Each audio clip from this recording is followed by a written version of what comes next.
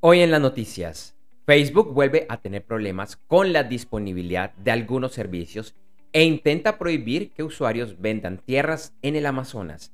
Mi nombre es Andrés J. Gómez y te invito a escuchar el resumen de los principales titulares de las noticias que sucedieron en la semana del 4 al 8 de octubre y lo que será noticia este fin de semana en el podcast de noticias diarias de Gerentes 360 para el sábado 9 de octubre de 2021. Facebook tuvo otra semana bastante atareada. El domingo en la noche, el programa 60 Minutes entrevistó a Frances Hagen, ex trabajadora de la empresa, quien fue la persona que reveló documentos internos al Wall Street Journal. El lunes, mientras intentaban contrarrestar las declaraciones de la señora Hagen, los servicios de la empresa, incluyendo a Facebook, Instagram, Messenger, Oculus y WhatsApp, sufrieron una fuerte caída que duró alrededor de seis horas.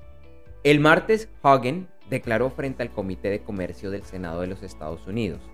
En esta audiencia recalcó cómo la empresa se ha visto enfrentada a tomar decisiones que la favorecen, pero en detrimento de las personas y que la empresa suele favorecer sus propios intereses. También dijo que Facebook es una empresa, abro comillas, moralmente en bancarrota, cierro comillas. El viernes en la tarde, Facebook volvió a tener problemas para el acceso a sus apps y servicios, por alrededor de dos horas. Y el viernes también la empresa dijo que trabajará para limitar a usuarios de sus plataformas que venden tierras en el Amazonas brasilero, usualmente de forma ilegal. El miércoles la Organización Mundial de la Salud aprobó la primera vacuna contra la malaria esta enfermedad mata a 500.000 personas al año y se estima que alrededor de la mitad son niños en África. Finalizando el año, se realizará el primer encuentro entre los presidentes Joe Biden de los Estados Unidos y Xi Jinping de China. Inicialmente se había planteado un encuentro cara a cara, sin embargo, el presidente chino lleva cerca de dos años sin salir de China, por lo cual se realizará de forma virtual. Un hacker publicó el miércoles que tenía acceso a información del servicio de transmisión de videos online Twitch, propiedad de Amazon. El jueves la empresa informó que esto se debió a una actualización en la configuración de sus servidores. Además, que al parecer la información de credenciales de acceso de los usuarios no fueron expuestas. El Senado de los Estados Unidos aprobó un acuerdo de aumento de la deuda para evitar un default al menos hasta principios de diciembre. El viernes, el grupo terrorista ISIS hizo explotar una bomba en el norte de Afganistán, dejando al menos 43 muertos y 140 personas heridas. El viernes, los mercados accionarios de Asia y Oceanía cerraron con ganancias y en América y Europa los resultados fueron mixtos. En América, algunos índices que cerraron con pérdidas fueron el S&P TSX Mid Cap de Canadá y en los Estados Unidos el Dow Jones, el Nasdaq 100, el Nasdaq, el S&P 500, el S&P 100, el Russell 2000 y el Dow Jones Utility. El viernes el petróleo subió y se cotizaba en el índice WTI a 79.49 dólares por barril y el Brent a 82.49 dólares por barril. La onza de oro subió y se cotizaba a 1.756.70 dólares. Algunos commodities y sus futuros que cerraron la semana con las principales ganancias eran el algodón, la madera, el paladio, la avena y el platino. En criptomonedas, el sábado el valor del Bitcoin bajó y se cotizaba alrededor de 54.800 dólares. Ethereum también bajaba y se cotizaba alrededor de los 3.600 dólares.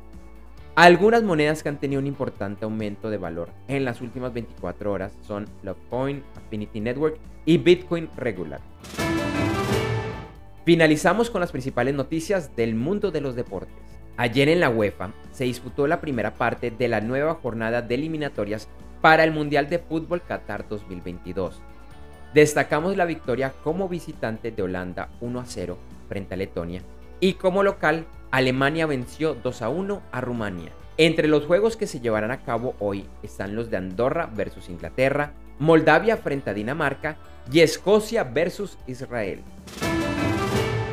Mañana se llevará a cabo la final de la UEFA Nations League entre España y Francia. Mañana por eliminatorias en Sudamérica se llevarán a cabo los partidos entre Bolivia versus Perú, Venezuela frente a Ecuador, Colombia versus Brasil, Argentina versus Uruguay y Chile versus Paraguay.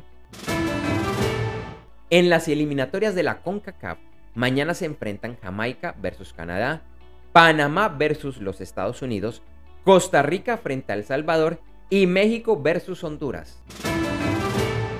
Este fin de semana se está desarrollando el Grand Prix de Turquía en la Fórmula 1. El domingo en la tarde se correrá en la NASCAR The Bank of America Roval 400 en el circuito Charlotte Motor Speedway en Charlotte, Carolina del Norte. Y en el golf, el jueves empezó en Las Vegas, Nevada, el torneo Shriners Children's Open de la PGA, que finaliza mañana domingo.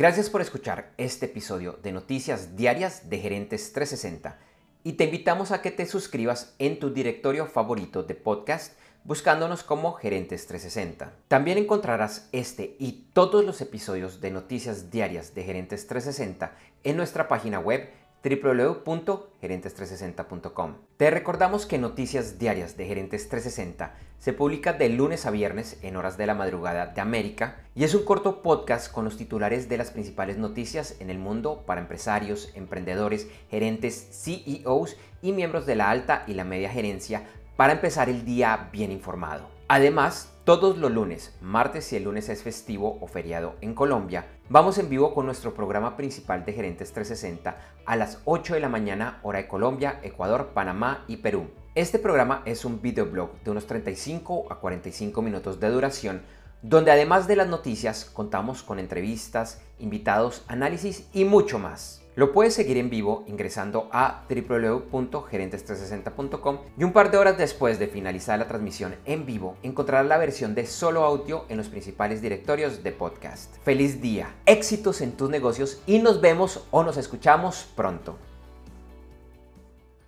En Noticias Diarias de Gerentes 360, agradecemos el apoyo de nuestro auspiciador Clases.vip y su Masterclass VIP gratuita de e-commerce exitoso. Recuerda que te puedes inscribir en www.internetconresultados.com para llevar tu e-commerce a un nuevo y más alto nivel. Eso sí, una advertencia. Esta clase es para empresarios, emprendedores y miembros de la alta gerencia, en la que se compartirán secretos que harán cambiar la forma como piensas el comercio electrónico de tu organización. No esperes más y separa ya tu cupo ingresando a www.internetconresultados.com. Lo repito, www.internetconresultados.com.